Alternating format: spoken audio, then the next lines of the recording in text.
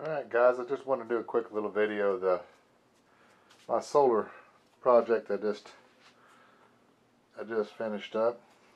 I uh, got it working. Uh, it's night right now so uh, I can't show how many watts or volts are coming in but uh, I just want to do a little overview. I'm going to do some more videos on how this is set up and and uh, do a little more insight on it. But uh, got my solar coming in. I've got uh, four 100 watt panels uh, coming to a 60 amp breaker going to a three-way switch which uh, number one would run will runs this uh, MPPT 60 controller uh, and the number two switch runs my uh, 600 watt grid tie inverter it's, it's hooked up to its own uh, receptacle with its own breaker outside. Uh, I'm actually going to put four more panels, 100 watt panels on the roof and we'll be putting another uh, 600 watt uh, grid tie inverter in with that.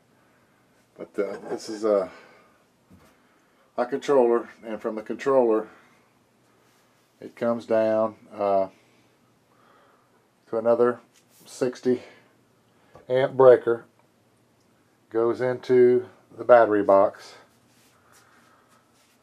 and uh,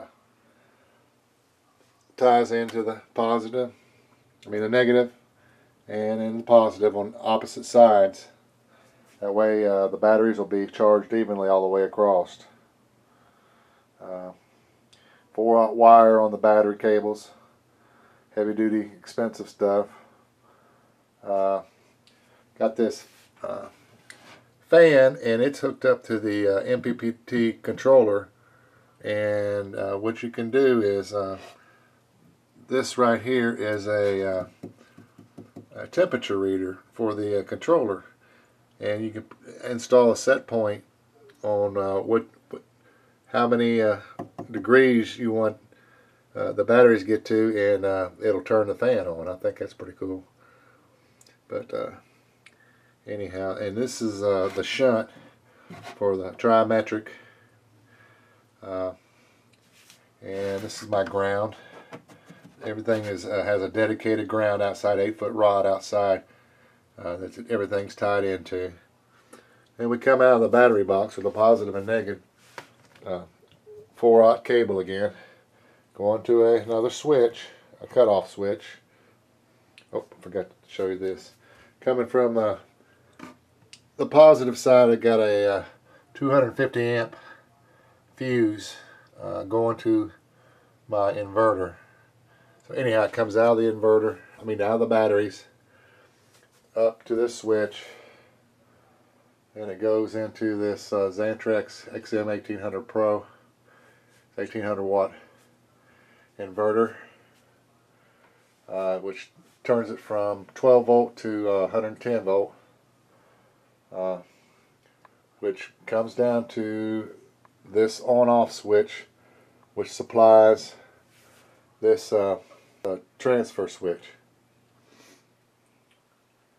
And the transfer switch this transfer switch is tied into my breaker box on the outside so uh, I've got five breakers here and there's five breakers in my uh, breaker box that runs the house and all I have to do is uh, switch it over from uh, the line it's in line right now swap it over to generator and it'll run uh, different household uh, lights and receptacles in the house. So just uh, pretty easy to, to line up now. No more extension cords.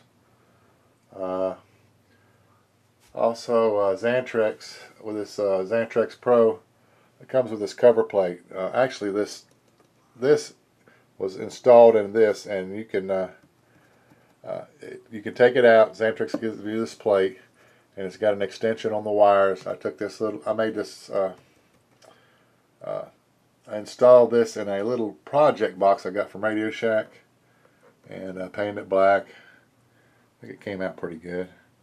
It's my trimetric. I still got to uh, program it. Uh, I don't have it fully programmed right now, but anyhow, it, uh, this is what I've got for right now, guys, and uh, I'll do a little bit more uh, intense, intense uh, overview of all this. Uh, anyhow, I think everything came out all right. And that's it.